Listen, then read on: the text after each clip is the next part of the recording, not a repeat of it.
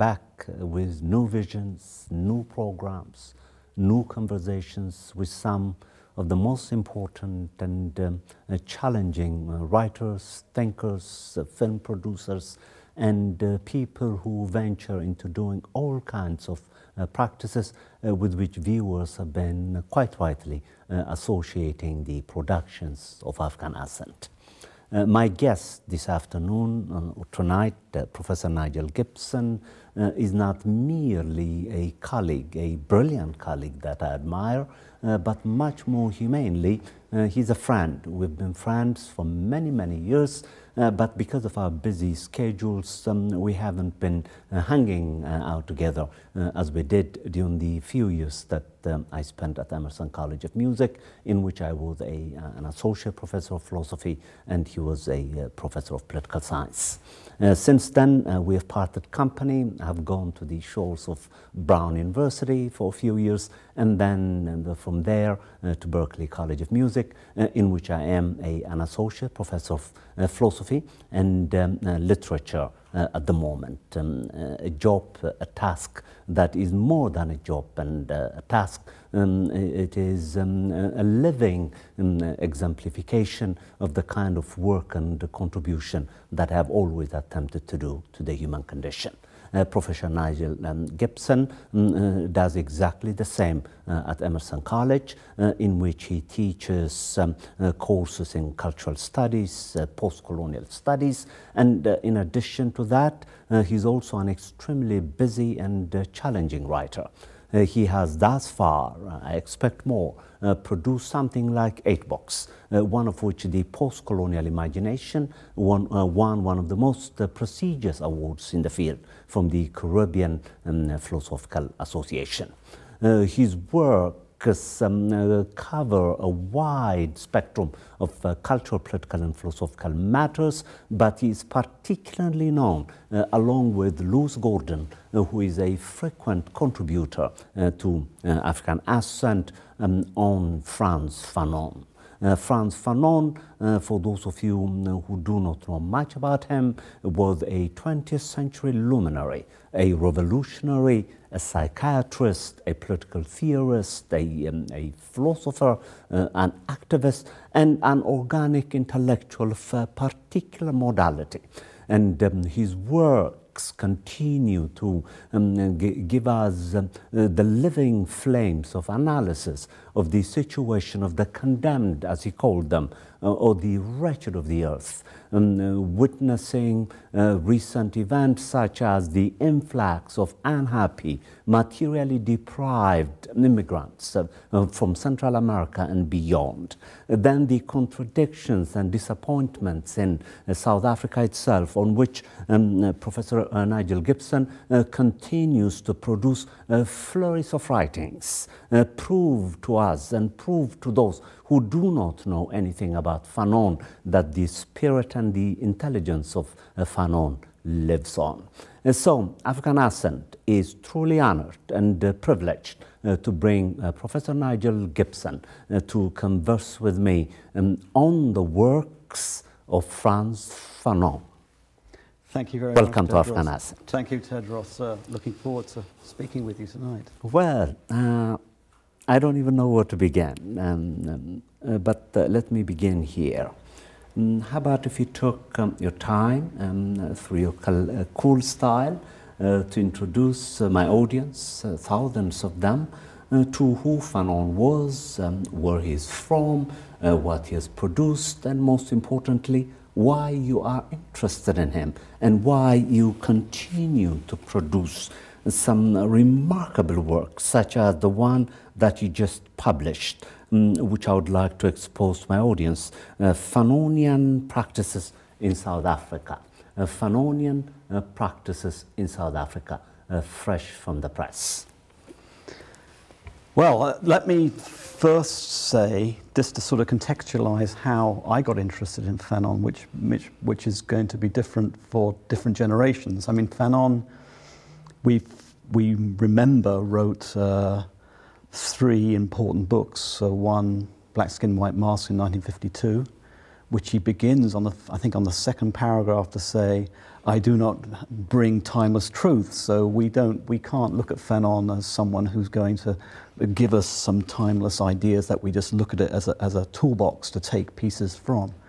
Um, and that's why I think one has to sort of recreate Fanon, um, engage with his thought, but recreate it in the moments that, that, that one lives in, in the sort of historical, contextual moments that one is living in. So for me, Fanon was interesting for that very moment. Uh, um, in the sense that um, in the late 70s, a young student interested in politics, interested in what was happening in South Africa, interested in the emergence of the Black Consciousness movement, Steve Biko's Black Consciousness movement, um, had become world known because of Soweto in 1976 when the students went on strike uh, and were gunned down by the apartheid regime, but also after his death in 1977. So there I was a young student coming to uh, engage black consciousness, this, this idea of black consciousness, which, which had um, which was important to young, young black students, that uh, they, were not non, they weren't non-whites, that they were black, and, and in a certain sense, uh, standing on um, black consciousness in the US, but also through Fanon's ideas, they were raising the notion of their own identity, their own, their own um, blackness, which was not, Biko famously said, a pigment uh, of the skin, but a state of mind. So the engagement with, with uh, Fan, my engagement with Fanon came through Steve Biko, but mediated through two authors who, who are uh, black American authors, uh, Lou Turner and John Alan. They'd written this pamphlet, and I was in London at the time, so I, I came across this pamphlet uh, called um, uh, Frantz Fanon, Soweto, and American Black Thought. So I was interested in this connection between Frantz Fanon and Steve Biko. How could someone like Frantz Fanon, who'd written in the 1950s um, and, and early 90s, in other words, he died in 1962, 1961, end of 19, December 1961, Black, uh, Wretched of the Earth was written in, in, uh, in, in, as he lay dying, published in late 1961. How could someone who was then 15 years dead uh, become important for, a for another movement that was in South Africa where, where uh, uh, Fanon never was uh, and was never active? So that's, that was the connection, and then that's, that's sort of the connection to the idea of Fanonian practices. In a certain sense, how can thought, and really it's a philosophical issue, how can thought be alive in new situations? What is there about someone's thought, Fanon in this particular case, that can be uh, applied to and be uh, come alive in a different situation? So that's what I was excited about as, as a 19-year-old uh, in, in, in, in London at that time. Um, how does thought take on a, a, new sort of concreteness? How can it be practiced, in other words? How, how is theory practiced? Not just sort of an abstract theory, but how does it, how does it come alive? So um, that's how I came across Fanon, and that's why Fanon was interested to me. And of course, the, the interesting thing is, for, this, for your audience, is that it's also mediated by the fact that Fanon became world known as, as a figure through, uh, through, through the Black Power movement and through the US. In fact, uh, Le, Le Damné de la Terre, The Wretched of the Earth, had no real resonance in France uh, in, the, in the early 1960s. It was only with the translation in 1963 and then the publication in 1965 that it became you know, a book that was written, that was read throughout the world, and it became um, millions sold through that American edition. It's an American tradition, it's American translation um, that became the translation that, that was surreptitiously brought into South Africa in the late 1960s through um, the black theology movement. Uh, in other words, theologians in South Africa started reading people like James Cone and others, and that was how Fanon made his way in, and surreptitiously uh, uh, uh copies of, of The Wretched of the Earth were being handed, you know, ha handed around uh, a, the student movement, and Biko was, was a student, um, and that was the part of the birth of, of, of black consciousness. So, so, that was, that, so that was partly the idea of what Fanonian practices is, and what I was particularly interested in then, uh, and why Fanon has remained alive to me, is how does Fanon talk to uh, contemporary period? And he does in a different, in a number of different ways. And I was thinking on the way over here um, that he of that of that line in a dying colonialism when when the oppressed in and when he talks about the oppressed, he's talking about people in in he's talking specifically about people in colonial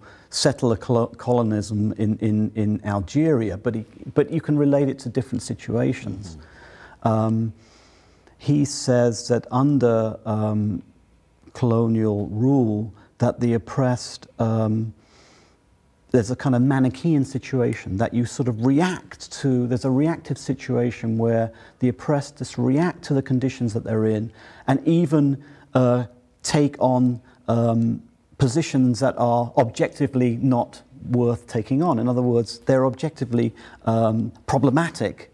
Uh, they, they are that you, you react to the lie of the oppressor with another lie. And I was thinking about this, um, and this might be sort of controversial. I'm not saying that Fanon would, would, would approve, but he would understand it. In other words, the rise of um, ISIS in, in the Middle East, in Iraq uh, and, and, uh, and Syria it's an it's it's it's it, you know I'm not talking about the leadership of them. I'm just talking about the fact that they might be uh, attractive to certain people, and the attraction might be that because objectively they're horribly reactionary, but they're horribly reactionary in in a reaction to uh, a horrible a horrible situation. Right. In other words, uh, Fanon understood that he tried to, he tried to understand uh, what the conditions were, the conditions very, very often of violence, and the fact that, um, that, that violence, and there is a counter uh, violence. That doesn't mean that he actually supported it.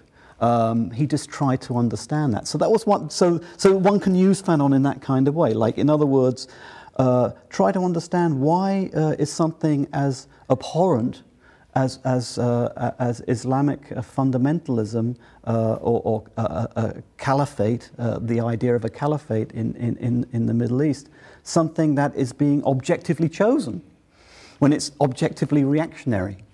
Right, so uh, that, that's something that he that, that he's so in other words he's willing to engage, not not support. He doesn't support anything like that, but he's willing to engage the most most difficult questions. The question of violence, for example, very, very difficult question. And, and so one thing is, on, on one hand, I wanted to see how Fanon related to contemporary, contemporary events. And the other thing that, that uh, has been part of my work is, in a certain sense, to try to, you know, I wouldn't say rescue, but, uh, but um, there is so much written about Fanon that is just wrong right? So that's been also part of my work to try to sort of point out, in fact, that when he engages the question of violence, it's not because he's he's a violent man and, and, loves violence. In fact, he's not a violent man and doesn't love violence at all. He tries to understand vi- violence is an issue that's there in society, in, in the community, in, a, in, an oppressed community, there's violence. The question is how to understand it and how to, you know, he's, he's, he's a psychiatrist by training, so he's interested in releasing that pent out, pent up aggression that is often forced backwards into the self or onto the community, onto the oppressed community of which you're part. So that's, so that's, a, that's, a, that's another element. But specifically with Fanonian practices in South Africa, it also, what I wanted to talk about, it had a three part structure. So one was Biko. How did Biko uh, engage Fanon? How was Fanonian practices engaged by Biko? What's its relationship to South Africa? But it wasn't only about South Africa, although that was the case study. It could be anywhere. Someone else has to do a study somewhere else. I was just kind of laying the challenge down to other people. Well, you know, you figure that out for, for your own uh, nation. Uh, but also, how was Fanon's critique, and I think you mentioned it in the introduction, his critique of the pitfalls of national consciousness, his critique of of, of, of national consciousness, his critique of, of national leaders, the degeneration of the idea of liberation into sort of uh, kleptocracy and just this, um, uh, uh, uh, uh you know, often um, narrowing it into, in, into regionalism or racism or, or, uh, or indigeneity, you know, um, and so forth. His idea of, of, national liberation was, was an opening up uh, rather than the closing down. So how could his, his critique of, nation, of, his, of, of, the, of the degeneration of the nationalist parties, uh, be applied to South Africa. And it seemed to me that, that uh, when I talked to uh, uh students in South Africa about Fanon and they started reading uh, Pitfalls of National Consciousness in the Wretched of the Earth, they said, oh, look, this is the ANC. Oh, look, that's Zuma. Or, you know, and all these, it became immediately sort of recognizable to them that some of the things that he was talking about, about the corruption, about the degeneration of the party, uh, and, and so forth, uh, about the ethnic language and so forth was all directly applicable to South Africa. So that was another element that I wanted to actually use that and analyze, you know, what, what I think thought was happening after 1994, because for all of us, and this went back to my 1970s period, the idea that the liberation of South Africa would be, tremen- would be tremendous a tremendous thing for Africa, not only for S- South Africa, but Southern Africa. For some reason, probably uh, romantically, I thought that it would open up uh, the liberation of the African continent because you had Zimbabwe, you had Mozambique, you had Angola, and now South Africa was the real giant, and the whole thing could open up and, be a, and, and you could actually build a new society. You know, there would be a, a, a real change. You know, it, now that didn't happen, but you know that was, and for many reasons. Um, but uh, I thought that uh, Fanon could tell us something about you know, the great, a great liberation struggle. I mean, the South African liberation struggle was, you know, one of the most, you know, the, the longest, the most drawn out, theoretically, probably the most sophisticated. Yeah. Um, and so it could tell us something about what happened, you know, what happened, what happened to, to all the dreams that this, of, uh, that, um, that South Africa uh, that, that the people in the struggle ha- had had and, and had died for, many had died for. So, you know, I wanted to analyze what had actually happened in South Africa that now, um, you know, 20 years on is not the society that many people had, had fought for.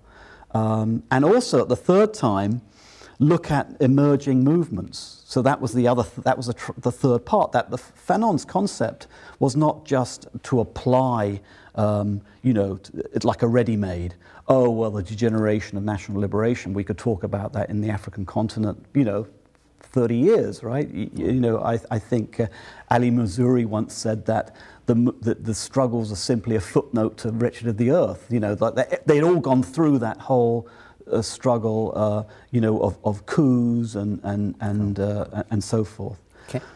And now, uh, there are those um, who think that there are some internal contradictions between black mask and white skin, the wretched of the earth, and dying colonialism.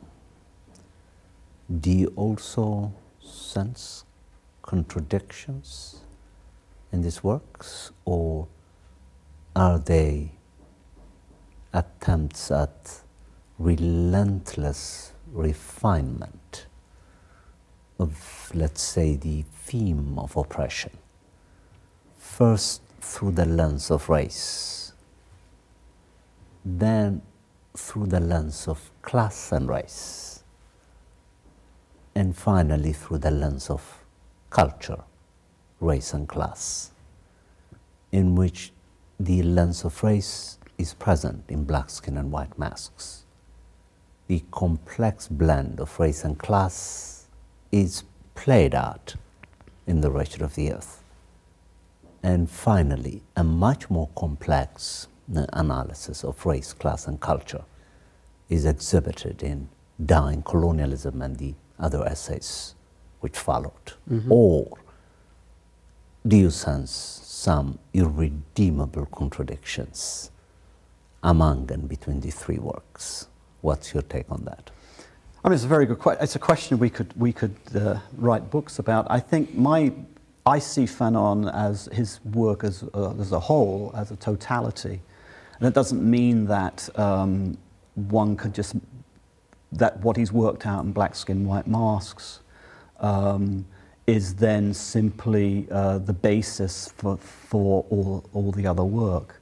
Um, it's interesting, at the Caribbean Philosophy Association, there was a, a, a number of talks, and I, I, was surprised by one that basically thought that um, what Fanon had spoken about in the, um, in the conclusion to Black Skin, White Mask, where he says, I'm not going to be a slave of history, um, I'm not going to be a slave of the past. You know, everything is about the future. Um, and here's the young man of 25 really talking about the future. I don't want to talk about the past.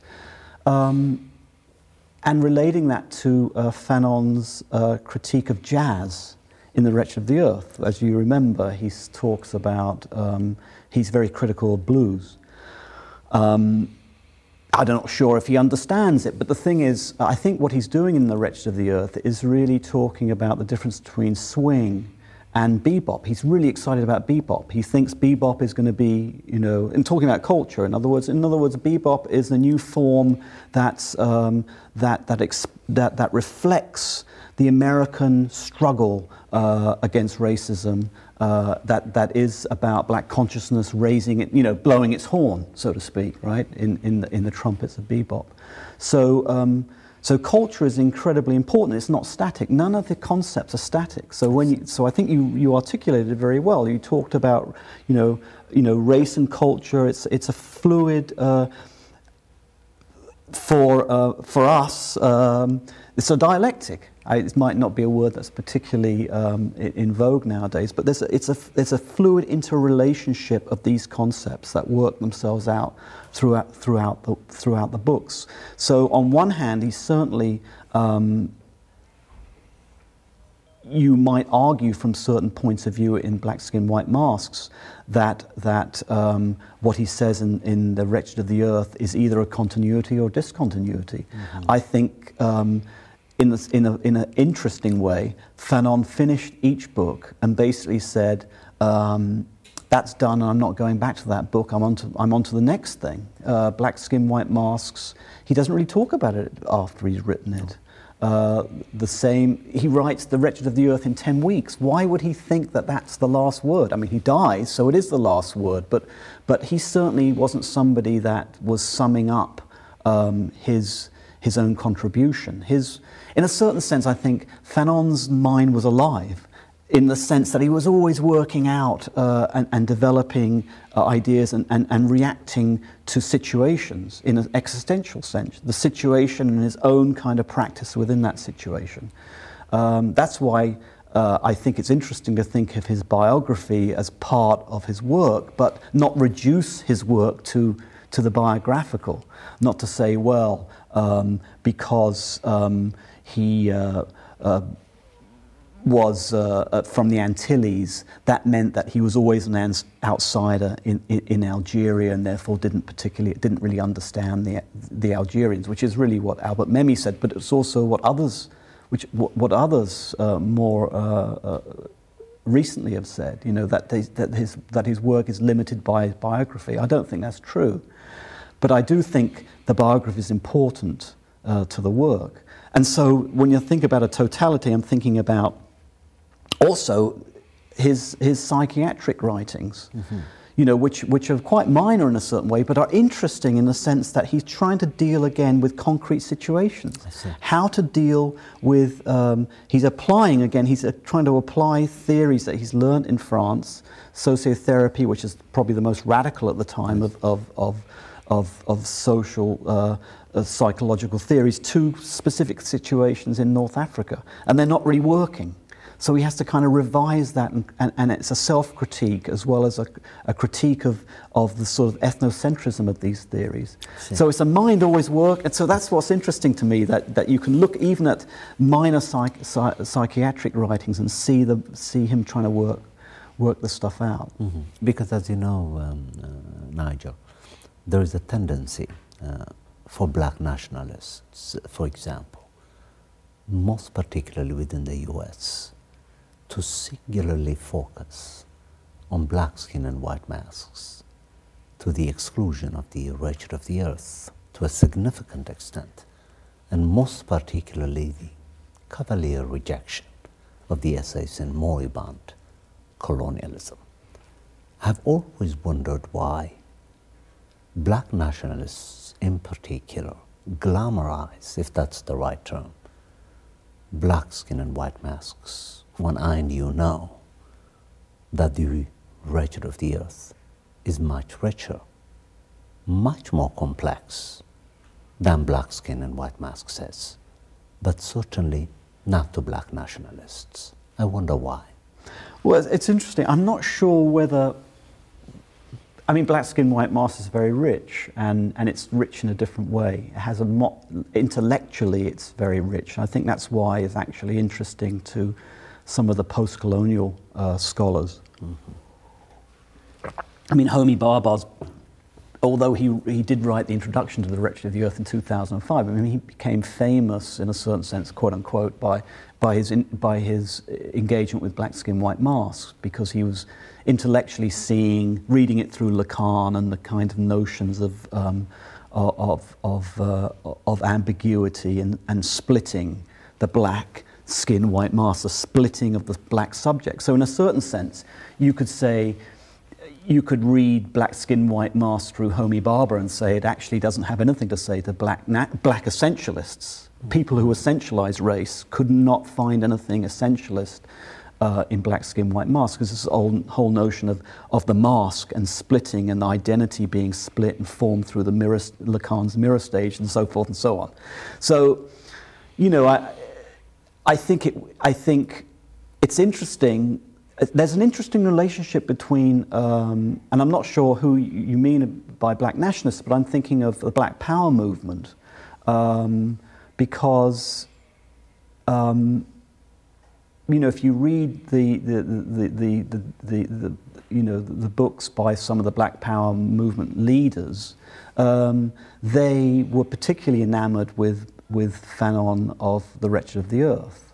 I'm not sure they read it um, as closely as I would have liked them to read it.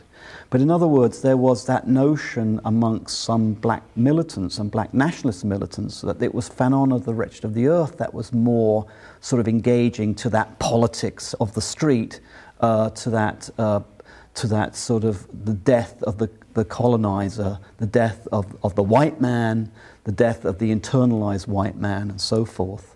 Um, than black skin, white mask. Although black skin, white masks, both actually, interestingly enough, quote from uh, Aimé Césaire's poem where he says, You know, I broke down the master's door and killed the master, uh, the white master. Um, and, the, you know, the Aimé Césaire's play, I think, the dogs were barking.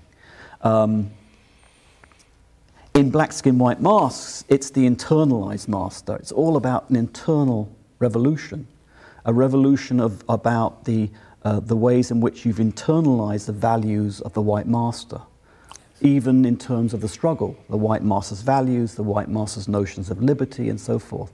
It doesn't mean that there is an essential value to, um, to black values. He's not talking, Fanon is talk, not talking about black values, he's talking about a new human values, right?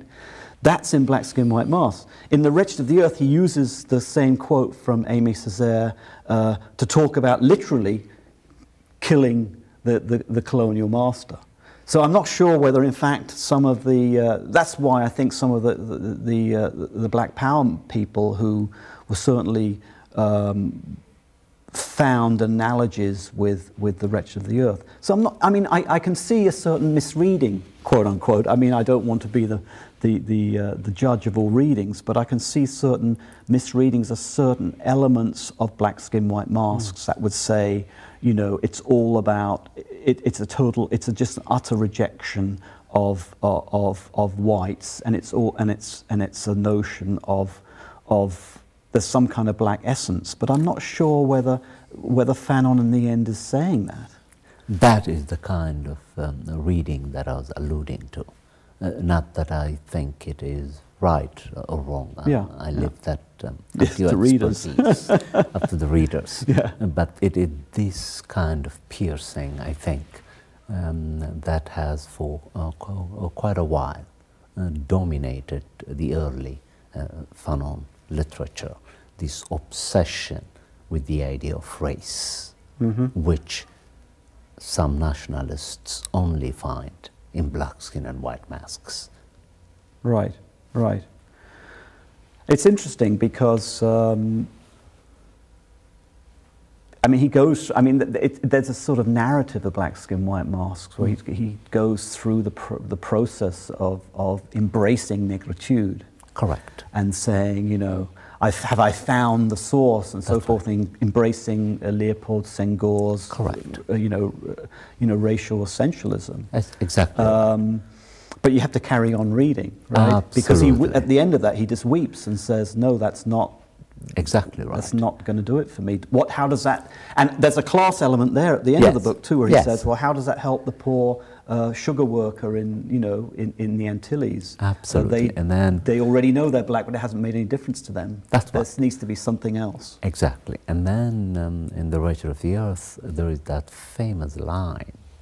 Um, in which uh, Fanon challenges himself and his reading of Marx, and he is very quick and shrewd mm, not to contribute to misunderstandings in the future. It's a prophetic argument um, in which he says something uh, like this um, that from the fact that he's using the lens of race uh, to analyze the material conditions of the poor, it doesn't follow that race is going to replace class. Rather, he is merely asking the Marxists, he does not even invoke Marx directly, the Marxists, and I think he might have had some vulgar Marxists in mind, uh, who do not recognize the centrality of race within class, a centrality that should be revisited and re-expanded so that the expansive concept of class itself could embrace race. Not be in parallel with it, but embrace it, to use your term, to make it part and parcel of this living totality of the oppression of the condemned. Yeah, no, I, th- I think you put it very well because there's that it's, it's, it's this, there's a sort of sentence that that sometimes causes some grief amongst some of my students where it, it's something like you are um, the superstructure and base switch and you're you're white above a certain financial level or something That's like right. that um, One is so rich. it also shows you the sort of malleable, you know, the notion of the inventedness of, of Absolutely. Of, uh, of- to, to help you the phrase, I think it's something in which um, uh, Fanon says, uh, ironically, one is rich because one is white, and one is white because one is rich, right. and one is black because one is poor, one is poor because one is black. This is where he is deliberately juxtaposing the way race and class work together inseparably. But his detractors read it reductively, such that whiteness becomes a metaphor for wealth, as if there are no poors among the whites. And similarly, blackness becomes a metaphor for wealth, uh, as if there is no uh, poverty among blacks. Which leads me to another question mm, on a very perceptive piece that you, that, that, that you wrote, which I read very carefully and which I even uh, plagiarized to an extent uh, in one of my columns, in which you deliberately chose for the first time the concept the poors you made the term poor plural, the poors of South Africa. Right, right. Why did you do that? Well, actually, it came from a book by Ashwin Desai, um, and it came from a struggle in Chatsworth in, um, in, in the early 2000s. And poors is the word um, that uh, Indian South Africans use when they're talking about poor people. So it's actually comes, it's, it's, it's their term. I see. um, that, I thought that it was yours, yeah. Yes, that, that I was using. But, it, but it's, it, again, it really relates so wonderfully to um, the the, one of the critiques that Fanon is doing, doing in Black Skin, White Mask, but also in his yes. other works, in, in that um, it's not simply sociological terms, it's about the objectification of people. So, yes. interestingly, in South Africa, what, what used to be the whole notion of blackness was associated with, and, and, and in the US too, associated with criminality, with, um, with, uh, um, with drugs, unemployment, violence. Being a problem, as Du Bois exactly, famously being a problem, as, as, Du Bois, as Du Bois uh, talks about. And now what happened in South Africa is that um, in other words, being a non-person, being a non-being, not really being a person, being a person you don't want to be around, right? So, uh, and, and now uh, that's exactly the way that shack dwellers, people who live in the informal settlements, feel that society talks about them. In other words, you don't want to go to a shack settlement, it's dangerous. Now, of course, it could be dangerous. I'm not saying it is, it, it might not, you know, I'm not saying it's, it's heaven or anything. I'm just saying that people normal people live there. Their shack dwellers are just normal people like everybody else, but that is, uh, they're pathologized, in other words, that, that uh, if you find out, if you're at a, uh, a, a, a, a, bar with uh, some people and you're talking to somebody, uh, you find out they live in the shacks, you might not want to uh, be friends with them. Yes, that's right. That kind of thing, that yes. kind of objectification. Yes. And so that relationship between race and class, and that relationship between the poors, the poors was, going, was almost like talking about black consciousness. It was now, you know, a new category of, um, of consciousness that transcended in the South African situation, um, you know, ethnic, the apartheid categories which people still were living through. Indian, coloured, African, and so forth. That was transcending that in a, in a class sense, but, but not in a sociological, simple class sense that was, as the vulgar Marxists might put it, but one ri- enriched by all these, you know, uh, all the different people and all, all the different cultures that were coming. So, uh, Nigel, correct me if I'm wrong. I think um, you read my mind. I'm, I'm so grateful. So, it appears as if Fanon deliberately chose his terms. It's not an accident that he did not use the term workers. Instead, he deliberately chose what you may call universal and universalizable terms that embrace race and class, manifest in the concepts such as the wretched, yeah. the condemned, and now through the Desai Indians, the poors. I find the concepts themselves to invite complexity. Yeah, I mean, think about Don't even, uh, even the notion of the wretched of the earth, which is a debate in Fanon studies. Where does he get it from? Now, of course, everyone knows the wretched of the earth. It's in the song of the Internationale, that came out of the Paris Commune, a French song.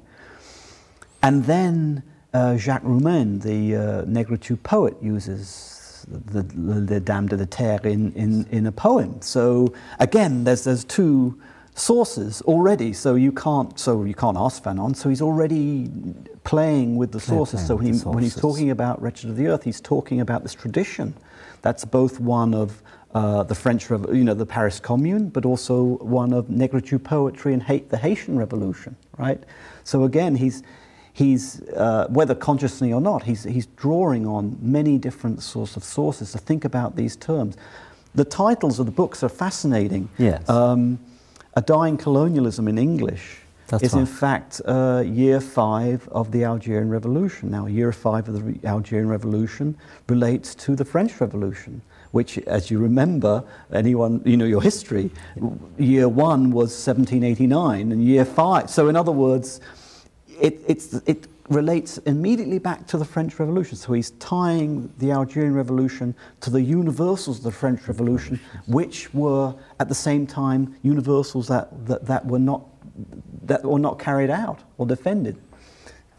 he criticizes all those universals at the beginning of The Wretched of the Earth, talking about human rights and so forth, and universals of liberty and, and, and, and, and all the great ideas the Europeans had uh, have, not been, have not come about. And uh, they're, you know, famously, I remember having, you know, this one liner, so to speak, you know, uh, when uh, when, when the colonized hears the word culture, he reaches for his knife. In other words, you know, culture is all about high European culture and it's about Shakespeare. And, and, and, and, and, so to speak, the, the, the wretched of earth have no culture. They are non beings. They just are, re, they react. But, but he sees that as a positive thing because, um, because there has to be a rejection of, of all those colonial values and colonial culture that, that have basically meant that you as a culture simply, as Amilcar Cabral put it, get on the, on the end of the Europeans. You know, you're just at the back of the Europeans. Yeah. You have no culture. So you have to sort of reject all that, all of that European culture. But at the same time, that rejection is itself not enough. Not enough. You know, you have to go through a process of um, of sort of not only finding your own culture, but also um, a changing culture as well. That's remarkable. And now uh, we have about um, 15 minutes left, and um, may I have the um, challenging task of asking you uh, to, to, to think with me about the idea of race. Mm, as you know, in the analytic tradition, um, the idea of race is um, a conceptual problematic. And there are those who think that insofar as we do not clearly and plainly know what race is, then we don't have the license to use it because its usage is going to reflect the confusion. I call this the logistical approach. Then there is the existential approach, I think, um, which tries to um, uh, understand the idea of race um, from the practices of those who may not be conceptually confused or clear for that matter about the idea of race, but who feel its living impulse and then uh, develop senses of identity um, out of this impulse, um, however uh, irrational it may sound. Which of these tacts do you think is Fanon struggling with in all his works? It's I mean, I don't know if he's really. He's fairly dismissive of um, of the analytical in a certain sense, I think. I mean, when I, he doesn't really engage it, but when you were speaking, it reminded me of that, uh, of a quote he uses from uh, actually a colonial administrator, Sir, Sir Alan Burns, who, who um, is a liberal. It's really a liberal tradition, right? The, the analytical tradition.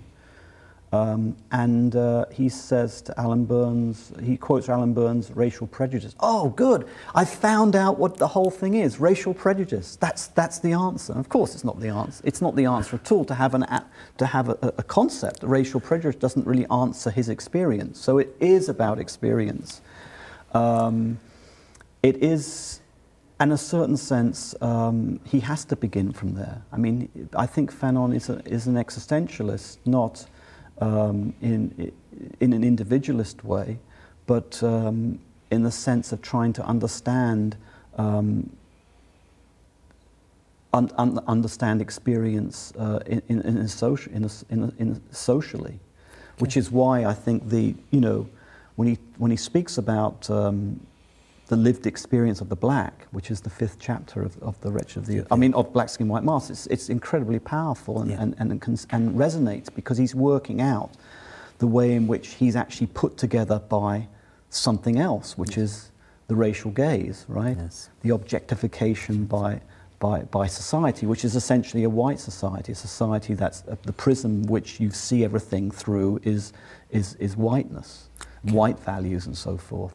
So I think that, um, you know, conceptually, even though, as you said, it, that, uh, uh, you know, in, in, your question, that there's enormous ambiguity and, and uh, uh um, one is, it's very difficult to sort of uh, catch what race, conceptualize race uh, um, in this way, that, that it is about lived experience, and yes. that's the truth. Yes. So again, I mean, it's not, uh, it's not a postmodern notion of truth. It is a truth that comes out of uh, the, these, the sum of these experiences. Absolutely.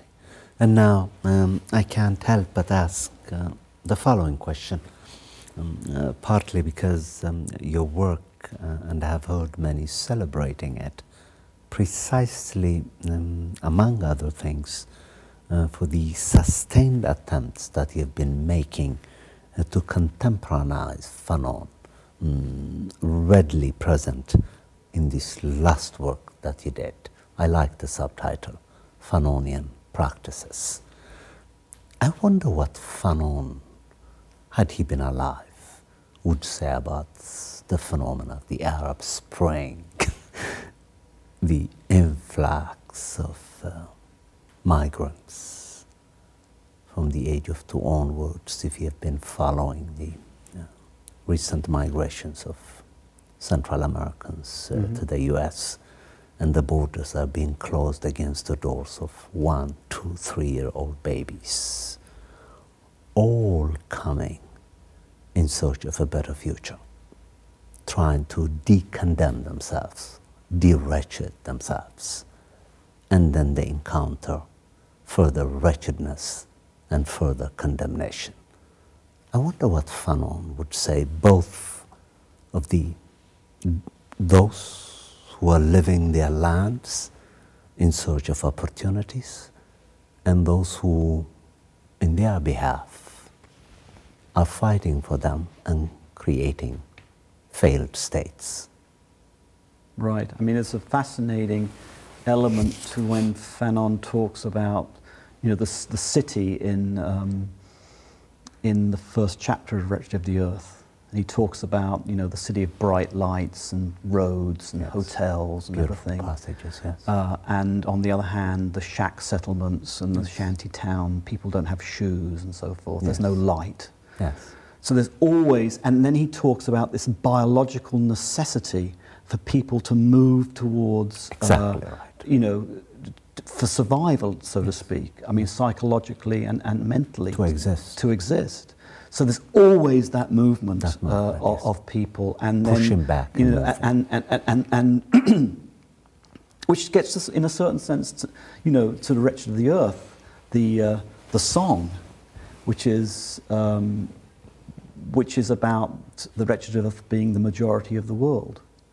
So it's so when you talk about the 99%, this is literally um, the people of the world who are, who are the poor, who are moving into mm. these and, and, and the creation, you know, so, so in a certain sense, one could say contemporary globalization with its global cities and citadels and, and, and all its security and so forth is Absolutely. just a contemporary sort of uh, manifestation of what Fanon was talking about. Yes, uh, indeed. Uh, you know, in, in the wretched of the earth. And, and phenomena like the, the Arab Spring are this continual um, in another part of the world, the continual movements for freedom against the corruption and, and the uh, kleptocracy and, and neo-colonial apparatus that, um, that uh, the, of, of, of uh, the decolonizing movements of which he sp spoke. Absolutely. You know, in other words, the same, you know, the period of the 60s and 70s degenerating into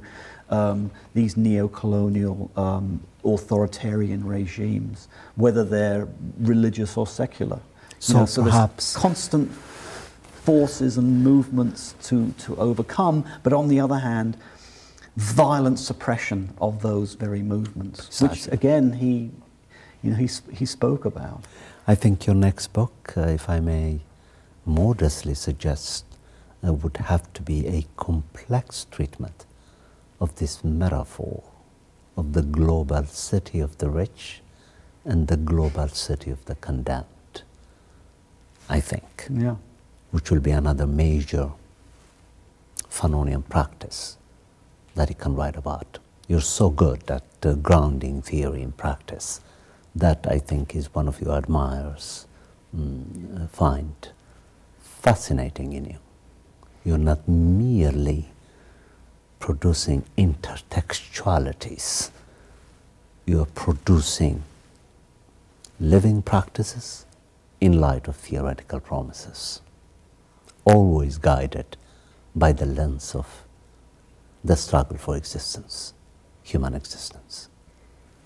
Well, we have about uh, three minutes left. The interview has hardly begun. I have tons and tons of questions in my mind, but I um, gently invite you to consider being a regular contributor to African Ascent so that you could come once a year and um, give us global reports on the human condition.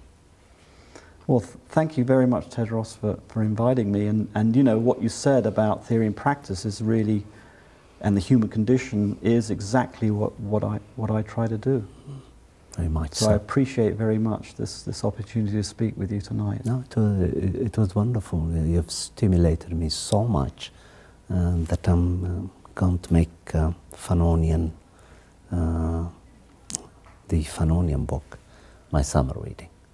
If there is um, something that you would like to say to, to my audience, a huge number out there, this is an opportunity for you to do so. We have about one minute left, I think. Use it in any way you want.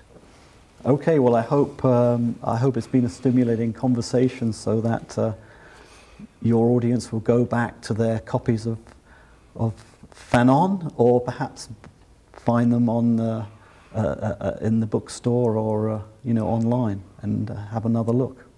I think he's a And you- tremendously interesting uh, figure. And you might also, if you uh, if you so like, uh, share your um, email uh, uh, with the audience, uh, so that they can respond to the interview and uh, to your works. I believe it's Nigel underscore Gibson at emerson.edu. That's exactly right. Well, this has been your host, Teodros Kiros, for African Ascent.